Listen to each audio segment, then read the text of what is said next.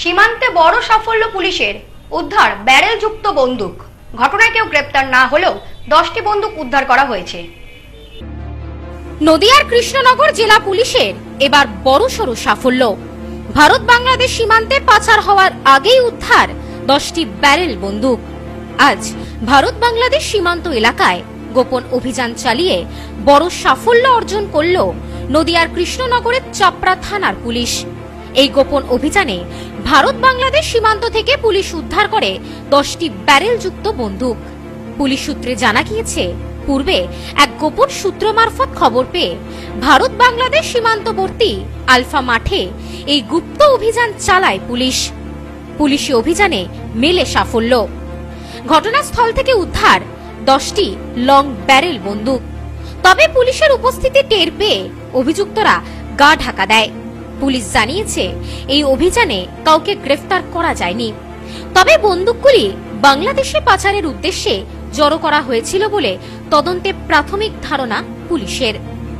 কে বা কারা কি উদ্দেশ্যে দুটি দেশের সীমান্তবর্তী এলাকায় বন্দুকগুলি জড়ো করেছিল তা জানতে ইতিমধ্যেই তদন্ত শুরু করেছে চাপড়া থানার পুলিশ।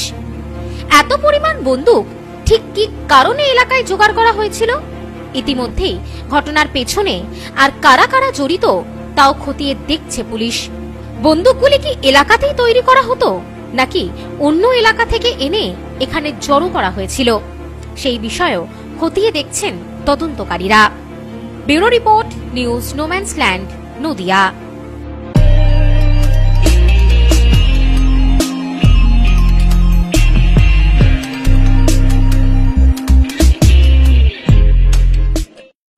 নদিয়ার কৃষ্ণনগর জেলা পুলিশের এবার বড়সড় সাফল্য। ভারত বাংলাদেশ সীমান্তে পাচার হওয়ার আগেই উদ্ধার দশটি ব্যারেল বন্দুক। আজ ভারত বাংলাদেশ সীমান্ত এলাকায় গোপন অভিযান চালিয়ে বড় সাফল্য অর্জন করল নদিয়ার কৃষ্ণনগরের চাপড়া থানার পুলিশ।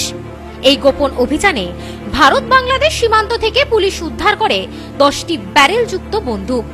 পুলিশ সূত্রে জানা গিয়েছে পূর্বে এক গোপন সূত্র মারফত খবর পেয়ে ভারত বাংলাদেশ সীমান্তবর্তী আলফা মাঠে এই গুপ্ত অভিযান চালায় পুলিশ।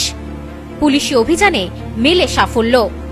ঘটনাস্থল থেকে উদ্ধার দশটি লং ব্যারেল বন্দুক। তবে পুলিশের উপস্থিতি টের পেয়ে অভিযুক্তরা গা ঢাকা দেয়। পুলিশ জানিয়েছে, এই অভিযানে কাউকে গ্রেফতার করা যায়নি।